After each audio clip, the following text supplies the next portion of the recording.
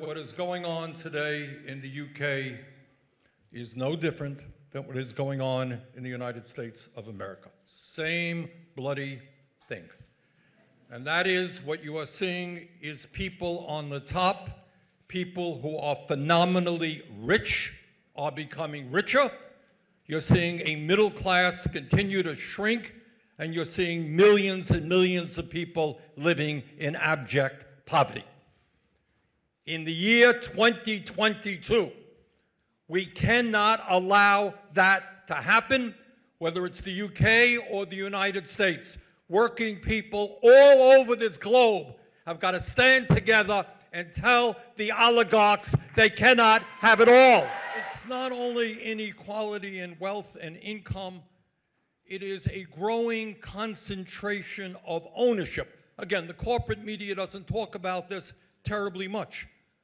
But in sector after sector in the United States, and I doubt that it is much different here, you have a handful of large multinational corporations controlling what is produced and how much it costs in one area after the other. And right now, there are three firms on Wall Street BlackRock, State Street, and Vanguard who have and control control assets of 20 trillion dollars three companies that is the GDP of the United States of America and these three companies are major stockholders in 95% of the Standard & Poor's 500 corporation list. So what you are looking at globally is a small number of billionaires who have enormous power over the economic life of the people and the political life of the people.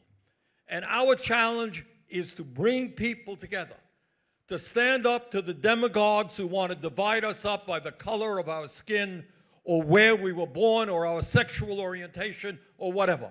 Bring working people together in the fight for justice and a world that belongs to all of us, not just the people on top.